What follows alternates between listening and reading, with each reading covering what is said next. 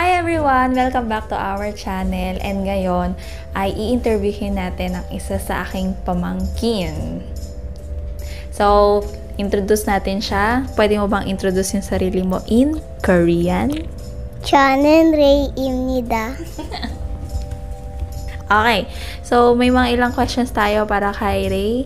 At unahin natin sa What is your favorite color? Pink. Bakit? Because it's cool. Ah, what is your favorite food?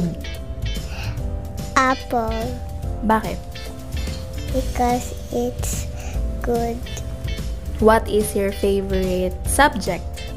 Math, Bakit? because it's cool. Cool. Cool ang math? Yes, Mataas grades mo sa math? yes, Okay. Mm. Do you have a favorite song? yes. Ano? Blackpink, May kilala ka bang nagsasayaw ng Blackpink? yes. Sino? Ate Ella,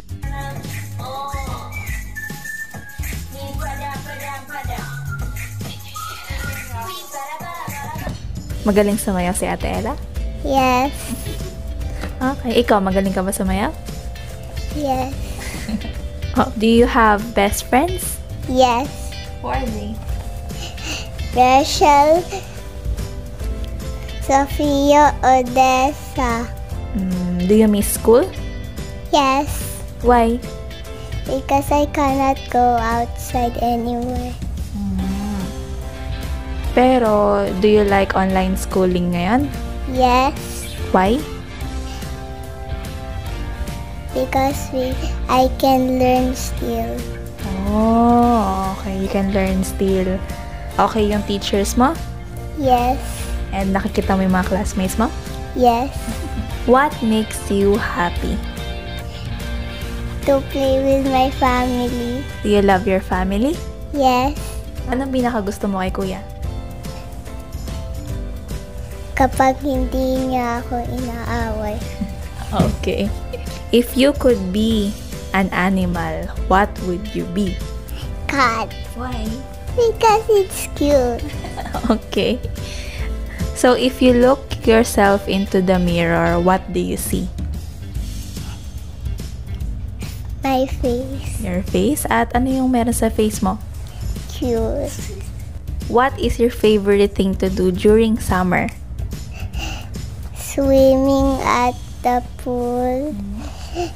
And playing with the sun in the beach. Beach, okay.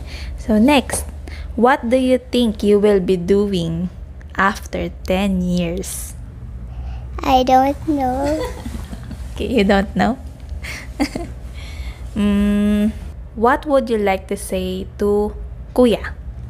I love you, Kuya. What would you like to say to Mommy? I love you, Mommy. What would you like to say to Daddy? I love you, Daddy. What is I love you in Korean? Saranghe. Okay. Mm, anong gusto mong sabihin sa ating viewers? Thanks for watching. Like, share, and subscribe. bye bye.